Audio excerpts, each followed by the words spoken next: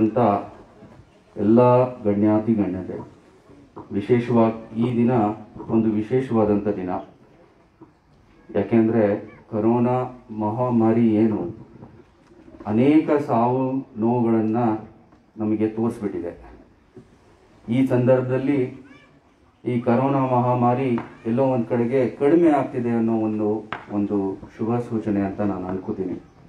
ಅಷ್ಟೇ ಅಲ್ಲದೆ ತುಂಬ ಜನ ಈ ಸಾವು ನೋವುಗಳನ್ನು ಕಂಡು ಸೇವೆಯನ್ನು ಬಡವರಿಗಾಗಲಿ, ಬೇಕಾದವರಿಗಾಗಲಿ ಸೇವೆಗಳನ್ನು ಬಹಳಷ್ಟು ಜನ ಮಾಡಿದ್ದಾರೆ.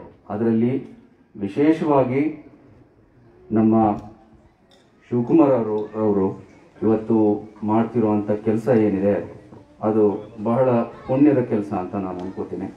ಅದಕ್ಕೆ ಈ ಕಾರ್ಯಕ್ರಮವನ್ನು ನೀವು ಮಾಡಿರೋದಕ್ಕೆ ನಿಮಗೆ ವಿಶೇಷವಾಗಿ ನಾನು ಧನ್ಯವಾದಗಳನ್ನು ಅರ್ಪಿಸ್ತೇನೆ. ದೇವರು ನಿಮಗೆ ಒಳ್ಳೇದು ಮಾಡಲಿ ಅಂತ ನಾನು ಕೇಳ್ಕೊತೇನೆ ನಾನು ಇವತ್ತು ವಿಶೇಷವಾದಂಥ ದಿನ ಅಂತ ನಾನು ಯಾಕೆ ಹೇಳ್ತೀನಿ ಅಂದರೆ, ಈ ಕ್ಷೇತ್ರದ ಉಸ್ತುವಾರಿಯನ್ನು, ಈ ಕ್ಷೇತ್ರದ ಆಗುಹೋಗುಗಳನ್ನು ಗಣ್ಯಾತಿ ಗಣ್ಯರು ನೋಡ್ತಿದ್ದಾರೆ. ಅವತ್ತು ಅವರೆಲ್ಲರೂ ಇವತ್ತಿನ ದಿನ ವೇದಿಕೆ ಮೇಲೆ ಆಸೀನರಾಗಿದ್ದಾರೆ.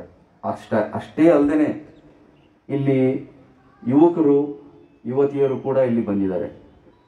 ಈ ಸಂದರ್ಭದಲ್ಲಿ ಒಂದು ಸಂದೇಶವನ್ನು ನಾವು ಕೊಡಲೇಬೇಕಾಗತ್ತೆ.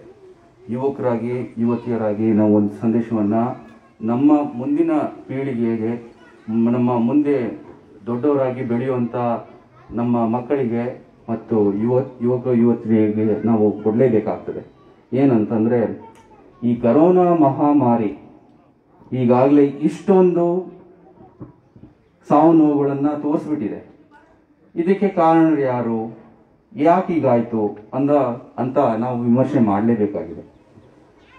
ಈ ಹಿಂದೆ ಎರಡು ಸಾವಿರದ ಹದಿನಾಲ್ಕನೇ ಚುನಾವಣೆಯಲ್ಲಿ ಒಬ್ಬ ಒಳ್ಳೆಯ ಪ್ರಧಾನಮಂತ್ರಿಯನ್ನ ಜನ ಆಯ್ಕೆ ಮಾಡಿದ್ರು. ನಮ್ಮಲ್ಲಿ ಇರುವಂಥ ಎಲ್ಲ ಆಶಾಭಾವವನ್ನು ನಾವು ಅವ್ರ ಮೇಲೆ ಇಟ್ಟು ಆಯ್ಕೆಯನ್ನು ಮಾಡಿದ್ವಿ. ಆದರೆ ಅವ್ರು ಮಾಡಿದ್ದೇನು? ಬರೀ ಜಾಗಟೆ ಓಡಿಸಿದ್ರು, ತಟ್ಟೆ ಓಡಿಸಿದ್ರು ಕೊನೆಗೆ ಹಣಗಳು ಹಣಗಳು ಉರುಳುವಂಥ ಸಮಯ ತಂದು ತಂದು ಕೊಟ್ಬಿಟ್ರು. ಈ ಒಂದು ದುರಂತ ಏನಿದೆ ಈ ದೇಶಕ್ಕೆ ಮತ್ತೆ ಮುಂದಿನ ದಿನಗಳಲ್ಲಿ ಬರಬಾರ್ದು. ಆದ್ದರಿಂದ ನಾ ಈಗ ಕರೋನಾ ಮಹಾಮಾರಿ ಮೊದಲನೇ ಅಲೆ ಬಂತು. ಆದರೆ ಎರಡನೇ ಅಲೆ ಬರುತ್ತೆ ಅನ್ನೋ ಮುನ್ಸೂಚನೆ ಇದ್ರೂ ಕೂಡ ಕೇಂದ್ರ ಸರ್ಕಾರ ಆಗಲಿ, ರಾಜ್ಯ ಸರ್ಕಾರ ಆಗಲಿ ಯಾವುದೇ ರೀತಿಯಾದಂಥ ಕ್ರಮ ತಗೊಳ್ದೇನೆ ಈ ಈ ಹಂತಕ್ಕೆ ನಾವು ಬಂದು ತಲುಪಿದ್ದೇವೆ. ಈ ಬೇಜವಾಬ್ದಾರಿ ಸರ್ಕಾರಗಳನ್ನು ಇನ್, ಇನ್ನು ಮುಂದೆಯಾದರೂ ನಾವು ಒಳ್ಳೆ ಎಕ್ಸ್ಪರ್ಟ್ ಬೇಸ್ಡ್ ಗವರ್ನೆನ್ಸ್ ಅಂತ ಏನು ಹೇಳ್ತಾರೆ, ಆ ನಿಟ್ಟಿನಲ್ಲಿ ನಾವು ಯುವ, ಯುವಕರು, ಯುವ, ಯುವತಿಯರು ಯೋಚನೆ ಮಾಡಬೇಕು. ಮುಂದಿನ ದಿನಗಳಲ್ಲಿ ಮೂರನೇ ಅಲೆ ಬಲು, ಬರೋದಿದೆ. ಆ ಮೂರನೇ ಅಲೆ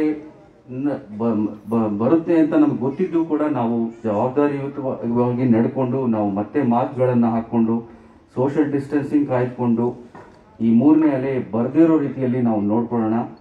ಈ ಈ ಕಿಟ್ಗಳನ್ನು ಏನು ವಿತರಣೆ ಮಾಡ್ತಾ ಇದ್ದಾರೆ, ಅದು ಕೇವಲ ಸಾಂಕೇತಿಕವಾಗಿ ನಿಮ್ಮೆಲ್ಲರ ಮನೆಗೂ ಕೂಡ ಅವರು ತಲುಪಿಸೋರಿದ್ದಾರೆ ಈ ಕಾರ್ಯಕ್ರಮಕ್ಕೆ ನನ್ನನ್ನು ಬರಮಾಡ್ಕೊಂಡಿದ್ದಕ್ಕೆ ನಿಮ್ಗೆಲ್ರಿಗೂ ಧನ್ಯವಾದಗಳು.